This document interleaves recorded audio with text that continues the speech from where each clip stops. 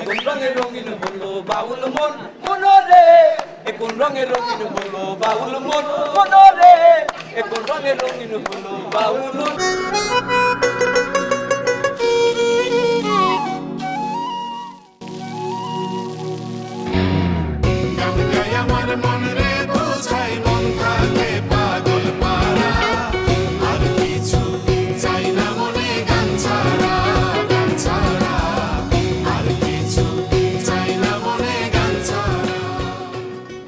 রাজা নেই, শাহী নেই রাজশাহী নাম, হাতি ঘোড়া কিছু নেই, আছে শুধু আম।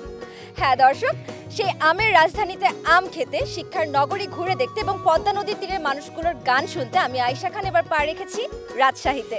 সবাইকে সাদর আমন্ত্রণ জানাচ্ছি রাজশাহী বিশ্ববিদ্যালয় থেকে লোকগানের সবচেয়ে বড় রিয়ালিটি শো ম্যাজিক বাউলিয়ানা দু হাজার চতুর্থ মৌসুমে। সান ফাউন্ডেশনের উদ্যোগে ম্যাজিক বাউলিয়ানা দু হাজার বাইশের পৃষ্ঠপোষক স্কয়ার টয়লেট্রিজ লিমিটেড, আয়োজনে Maasranga television, creative and event management, Mediacom limited এবং ওয়েড্রপ পার্টনার দেশাল। বিশ্বজুড়ে বাউল সুরে এই প্রত্যয়কে সামনে রেখে সারা বিশ্ব থেকে রেজিস্ট্রেশন প্রক্রিয়ায় অংশগ্রহণ করেছে পঞ্চাশ হাজারেরও বেশি প্রতিযোগী এবং রাজশাহী থেকে অডিশন রাউন্ডের জন্য রেজিস্ট্রেশন করেছে সাড়ে পাঁচ হাজারের মতো প্রতিযোগী। প্রতিযোগীরা কিন্তু ইতিমধ্যেই তাদের অডিশন ভেন্যু অর্থাৎ রাজশাহী শিল্পকলা একাডেমিতে পৌঁছে গিয়েছে। দেখা যাক তাহলে রাজশাহীর গানের রাজারা নিজেকে ঠিক কতটা প্রস্তুত করে এসেছে এই প্রতিযোগিতায় অংশগ্রহণ করার জন্য।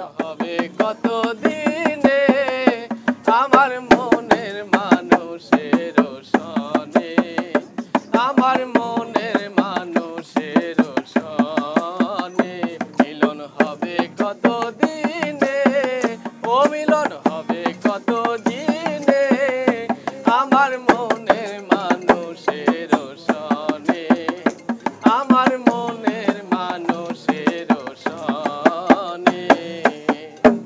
বিচারকরা প্রস্তুত তৈরি আমাদের প্রতিযোগীরাও। শুরু হোক প্রতিযোগিতা। তিন দুই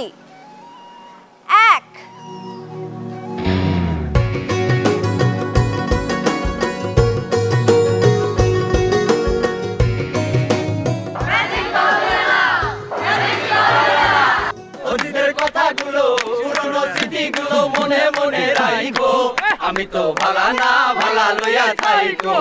আমি তো ভালা না ভালা লইয়া থাইকো। আমার স্বপ্ন আশা তুমি ভালোবাসা। তোমারে না পাইলে এই জীবন বন্ধু, এই জীবন বৃথা। অন্তরে না রাখিলে অন্তরে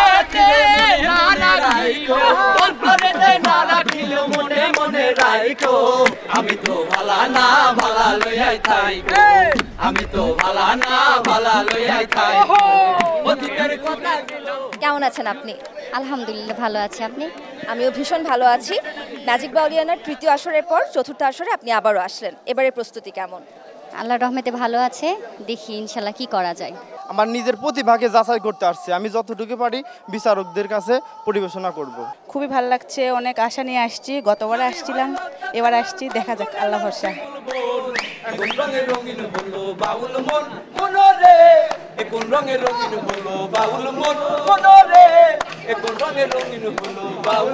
বাহ। দেখেই বোঝা যাচ্ছে আপনারা ভীষণ উপভোগ করছেন এই জায়গাতে এসে। আপনার কাছে জানতে চাই, আপনার কি মনে হয়? বিচারকদের মন আজকে আপনি জয় করতে পারবেন? আমার অত দূরকার ভাগ্য নাই। যদি আমার কপালে যদি আল্লাহ পাক সেই ভাগ্য রাখে, হয়তো আমি সেই গন্তব্যস্থলে যাইতে পারব। আর যদি না থাকে, আমি যাইতে পারব না। যেখান থেকে আসছি, সেখানেই আমি চলে যাব। আবার তকদিরে যদি কোনোদিন কপালে থাকে, সেদিন আবার আসব।